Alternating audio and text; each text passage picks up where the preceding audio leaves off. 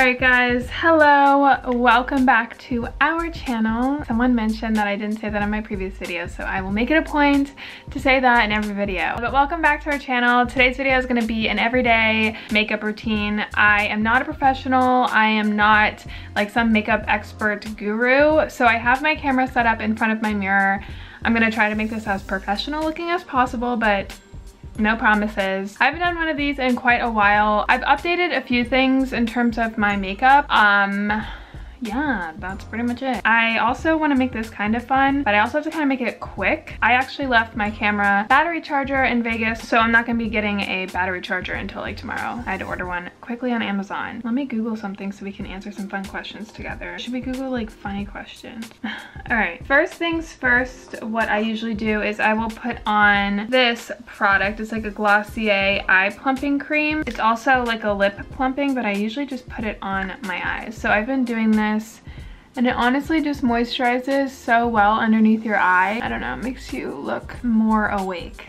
Then what I've been going, bleh, I've been using this Milk Makeup Blur Stick. This gives the appearance of like the blur effect. So I just kind of like prime my face with this. It like reduces the look of like um, pores and stuff. And I honestly really liked it. It's a really a good product. So I just kind of honestly put that everywhere. There we go. That's the primer. And then I go on with the first step, which is a foundation. And I'm using the Luminous Silk Foundation by Giorgio Armani. This stuff is really nice because it just blends and gives you that very dewy look, but also a very natural full coverage. So just kind of put that everywhere. So the first question that I Googled, what sport would be the funniest to add a mandatory amount of alcohol to? I've actually uh, watched a video with Kevin Hart. I think it's like on his YouTube channel where he like does drunk yoga. Yoga is supposed to be like a spiritual practice. When I first started getting into yoga, I would get drunk with my friends and then I would just start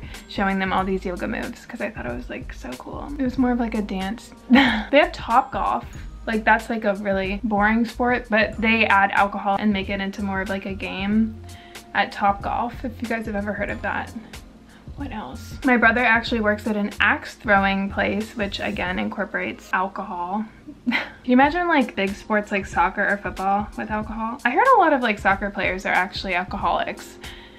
I don't know if they drink while they play or what. Next thing I do is I put on some concealer. So I use the NARS concealer. Oh, if you guys are interested, I never say like the colors because I feel like everyone's a different color. So like honestly just match your own. But if you guys are similar to my skin tone, my foundation is in the color, I think it's 3.5. Again, I'm really bad at this stuff. I don't know what's going on. The NARS concealer, um, again, it's very creamy, but also a very good coverage.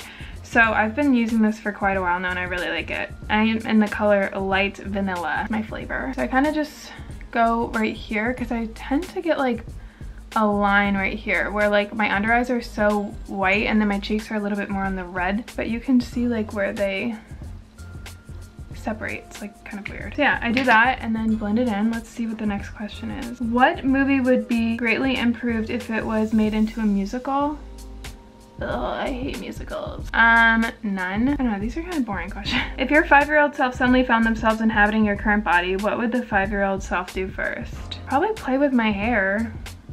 These are not fun. In 40 years, what will people be nostalgic of? Honestly, I talk about this quite a lot. I feel like the older genera the older generations, I don't think they're gonna be driving. I think like they're gonna look at us like when we're like 80 and be like, whoa, you guys know how to drive? You guys used to drive? You know how to drive a car? And we're all gonna be like, yep, that's how they did it back in the day. We drove, physically drove. And they're gonna be like, and so shocked, like, whoa. It's like gonna be like driving an airplane. Flying an airplane? I don't know. All right, I'm kind of bored with these questions, so let's get back into makeup. To set all of this, I've been using the Fenty Beauty Universal Invisimatte. I always do this because I listen to a lot of ASMR. I'm like, yeah, Invisimatte blotting powder. And this is just one color, and this just kind of gets rid of any like shiny, greasy areas. So I kind of just rub this along any greasy area. I'm listening to music, by the way. So I don't get copyrighted, but I can still have fun. I feel like getting ready is so boring without music. I'm listening to my flow state of mind playlist, which is like music that makes you feel like flowy and angelic, but also like really vibey and good. All right, next. I always brush my eyebrows before I do anything. I'm kind of doing something a little bit different. I'll show you guys. So I use the Sigma Brow Powder Duo in the color medium. There's two colors and I kind of use the lighter of the two. Up, then I, I wish I could all listen to music together and not get copyrighted. Take this angle brush that has a hair on it and then I kind of just line my eyebrow on the bottom. I have really sparse eyebrows, but they're blonde. So the hair is there, they're just, you can't see them. So I'll just kind of line the natural, like, I don't know what I'm saying, um, shape of the eyebrow and then kind of just color in between the lines. And then for this front part, I kind of just like brush like angled strokes in the direction that the hair is going. And this is where it tends to get kind of hard. I always make one look so different and I'm like, I can never get them perfect.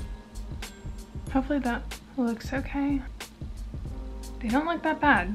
I mean, I'm saying that, but I, I haven't seen what it looks like in the light yet, so we shall see. This is the new thing that I've been doing. So this is the Sigma Tint and Tame Brow Gel. By the way, I'll link all the products down below if you guys missed out on something and then this is just in the clear tint. I have like a hard time with the darker tints. And I'll kind of just go along the eyebrow because this kind of just keeps it in place. Kind of makes it look a little bit thicker than it is.